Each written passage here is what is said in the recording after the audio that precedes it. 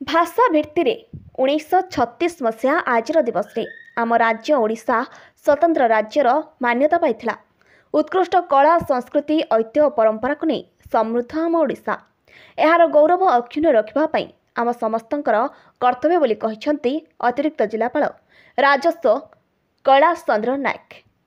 ଆଜି ପୂର୍ବାହ୍ନରେ ସଂସ୍କୃତି ଭବନ ପରିସରରେ ଜିଲ୍ଲା ପ୍ରଶାସନ ଏବଂ ଜିଲ୍ଲା ସୂଚନା ଓ ଲୋକସମ୍ପର୍କ କାର୍ଯ୍ୟାଳୟ ପକ୍ଷରୁ ପୁରୀ ଜିଲ୍ଲା ସ୍ତରୀୟ ଅଣାନବେତମ ଓଡ଼ିଶା ଦିବସ ପାଳିତ ହୋଇଥିଲା।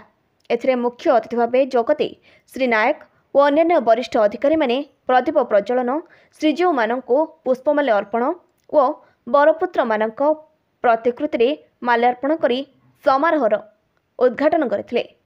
ସ୍ୱତନ୍ତ୍ର ଓଡ଼ିଶା ଗଠନରେ ପାରଳା ମହାରାଜା ଉତ୍କଳ ଗୌରବ ମଧୁସୂଦନ ବ୍ୟାସକବି ଫକୀରମୋହନ କର୍ମବୀର ଗୌରୀଶଙ୍କର ଉତ୍କଳମଣି ପଣ୍ଡିତ ଗୋପବନ୍ଧୁ ପ୍ରଭୃତି ମନୀଷୀମାନଙ୍କ ଅବଦାନ ଓ ସଂଗ୍ରାମ ଅବର୍ଣ୍ଣନୀୟ।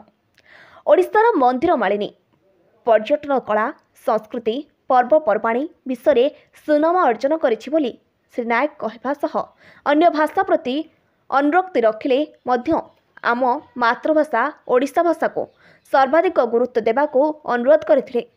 ମୁଖ୍ୟ ବକ୍ତା ଭାବେ ଉପଜିଲ୍ଲାପାଳ ଗୋପୀନାଥ କୁଆଁର ଭାଷା ଭିତ୍ତିରେ ଆମ ରାଜ୍ୟ ସ୍ୱତନ୍ତ୍ର ପ୍ରଦେଶର ମାନ୍ୟତା ପାଇବା ଏକ ବିରାଟ ଉପଲବ୍ଧି।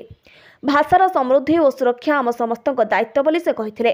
ଅତିରିକ୍ତ ଜିଲ୍ଲାପାଳ ପ୍ରଶାସନ ଶରତ ଚନ୍ଦ୍ର ବେହେରା ଏଥିରେ ଅଧ୍ୟକ୍ଷତା କରିବା ସହ ସ୍ୱତନ୍ତ୍ର ଓଡ଼ିଶା ଗଠନର ଇତିହାସ ଓଡ଼ିଶାର ଐତିହ୍ୟ ମହାମନୀଷୀମାନଙ୍କର ଅବଦାନ ଓ ଆଧୁନିକ ଓଡ଼ିଶା ସମ୍ପର୍କରେ ଆଲୋକପାତ କରିଥିଲେ।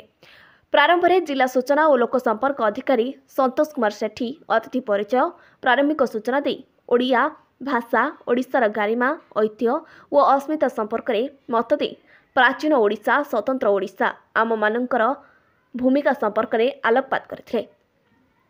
ପ୍ରାରମ୍ଭରେ ଗୁରୁ ସତ୍ୟପ୍ରିୟ ମହାପାତ୍ରଙ୍କ ସ୍ୱଯୋଜନାରେ ସିଦ୍ଧ ମହାବୀର କଳା ପରିଷଦ ପକ୍ଷରୁ ବନ୍ଦେ ଉତ୍କଳ ଜନନୀ ସଙ୍ଗୀତ ଓ ପରେ ଦେଶାତ୍ମବୋଧକ ସାଂସ୍କୃତିକ କାର୍ଯ୍ୟକ୍ରମ ପରିବେଷଣ କରାଯାଇଥିଲା। ଶେଷରେ ଜିଲ୍ଲା ସଂସ୍କୃତି ଅଧିକାରୀ ହେମନ୍ତ ବେହେରା ଧନ୍ୟବାଦ ଅର୍ପଣ କରିଥିଲେ।